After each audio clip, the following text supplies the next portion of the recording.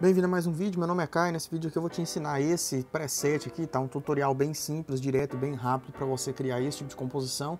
Lembrando que tudo é adaptável, você pode ajustar se você quiser mais saturado, menos saturado, mais azulado. Você fica livre aí para fazer a criação. Então bora pro que interessa, que é o seguinte. Para gravar o preset, talvez você esteja vendo isso aqui, mas é, eu me lembrei, eu me recordei disso depois que eu concluí o vídeo, então eu tô fazendo esse encaixe aqui no iníciozinho, tá? Para gravar essa ação, você vai vir aqui Window, Actions, vai clicar nessa pasta, vai dar um OK, vai clicar nessa folhinha e vai clicar em Record, tá? E aí a hora que chegar na hora de encerrar no final do vídeo, eu vou mostrar aqui como que faz. Primeira coisa aqui que eu vou fazer é bem simples, eu vou fazer a criação de uma layer de ajuste de Selective Color. E nesse Selective Color, vou vir aqui nos vermelhos, eu vou tirar o tom de ciano, vou tirar bastante de magenta, vou adicionar um pouco de amarelo, ser mais ou menos assim. Vou aqui nos amarelos, vou tirar mais ciano, adicionar amarelo, aliás, magenta, vou tirar amarelo, vou trocar aqui para os meus tons de verde, vou tirar o verde tudo, vou adicionar magenta aqui no máximo, tirar o amarelo no máximo, tá? E os pretos você pode subir aqui. Posteriormente eu venho aqui para os pretos e eu vou adicionar um pouquinho disso aqui e tirar um pouquinho disso. Você pode posteriormente voltar aqui e criar uma nova layer aqui de gradiente, tá? Você pode criar um gradiente, deixa isso aqui radial, clica nessa cor, coloca aqui a cor preta, puxa essa aqui para baixo para ela sair, dá um OK, clica em reverse, expande essa escala aqui para ela ficar mais nas bordas. Vamos criar aqui um canal, uma layer de ajuste de curvas. A gente vai puxar isso aqui para cima dessa forma, vai descer aqui, vai trazer isso aqui um pouquinho para cima dessa maneira, tá? Você vai criar uma layer nova. Vem aqui, imagem. Basta clicar nessa folhinha do mais, tá? Imagem, aplicar imagem. Deixa assim dessa mesma forma. Agora a gente vem aqui em filtro. E você também pode utilizar o efeito aqui de estilizar, tá? E utiliza Oil Paint posteriormente. Ele vai fazer uma, uma suavização, um efeito, um filtro que vai ficar bem bonito. Você pode deixar ele nas seguintes configurações, ou nessas aqui que eu estou mostrando, ou você pode fazer ele um pouco mais forte, deixando, por exemplo, 10, 10, 10 e aqui 0, por exemplo, que ele vai suavizar bastante. Ou você pode deixar nesse, nessa configuração aqui que eu estou mostrando, que ele vai fazer de uma forma um pouco mais suave, tá? E aí você cria uma máscara, pega aqui o pincel, cor preta, e apaga aqui em algumas regiões com mais detalhe. Eu recomendo apagar Aqui, por exemplo, nas áreas de mais detalhe, no cabelo, tá, onde tem mais contraste, você deixa mais no fundo. E aí você vem aqui tira um pouco dessa opacidade, que o efeito vai ficar um pouco mais suave.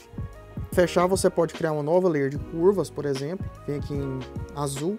Você pode subir um pouquinho esse azul e descer aqui, que vai dar um aspecto aí bem legal. Cria dois pontos, sobe esse aqui um pouco, ou desce. E esse aqui, se você subiu da direita, você desce da esquerda. Se você desceu da esquerda, você sobe da direita. Dependendo de como você fizer, tá vendo? Você chega em resultados bem bonitos. E eu vou fazer também um canal aqui de matiz e saturação. Vou pegar essa mãozinha, vou clicar nesses tons aqui mais avermelhados e vou tirar um pouco a saturação e vou vir nesses tons aqui e ampliar, tá? Então, basicamente, esse aqui seria o ajuste. Se você desejar, você pode criar um color lookup e coloca aqui nessa opção de drop blues, tá? Olha só.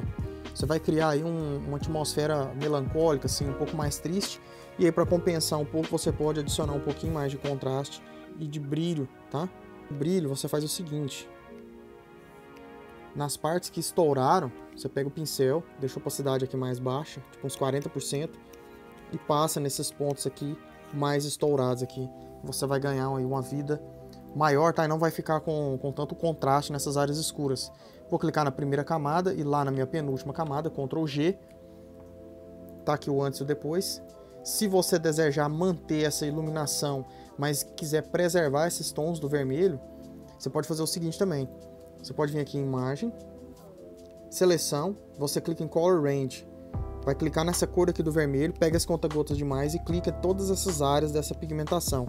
Diminui esse fuzziness aqui, até você basicamente visualizar só essas áreas ó, da blusa, tá? Dá um ok. E ainda assim ele vai pegar muitas áreas em volta, mas aí é só a gente utilizar uma máscara e apagar depois.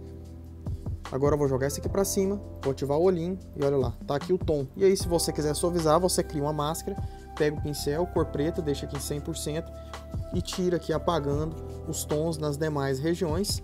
E se você desejar fazer uma, um modo de mesclagem, uma interação diferenciada, você clica aqui, você pode colocar em Color, por exemplo, ou Luminosity, tá vendo? Fica bem bonito. Se você pode deixar em normal e tira um pouquinho da opacidade, você vai chegar num resultado muito bom, tá? Então tá aqui o antes e o depois. Uma edição aí simples para você poder trabalhar. Agora, para parar a ação, certo? Você vai simplesmente clicar aqui em Stop. Você vai abrir de novo esse botão de play, vai lá um Window Actions e dar um Stop. E ele vai pausar para você a ação e você pode aplicar aí em todas as suas imagens. Lembrando, para esse preset aqui específico, eu não recomendo você gravar essa etapa aqui de alterar a cor, tá? Pausa isso aqui antes. Então basicamente é isso. Eu espero que tenha sido útil. Eu agradeço demais. Se tiver tido alguma dúvida, pode comentar aí. Valeu, brigadão, sucesso.